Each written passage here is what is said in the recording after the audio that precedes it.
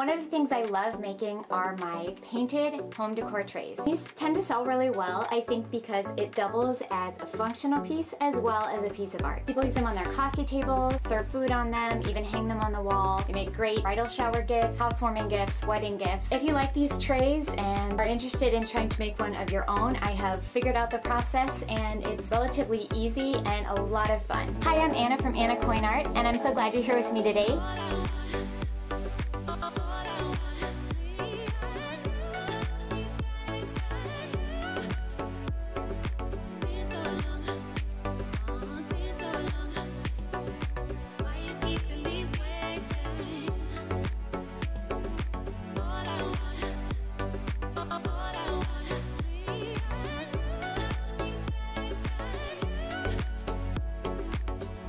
Subscribe to the channel. Thanks for watching and I will see you in the next video.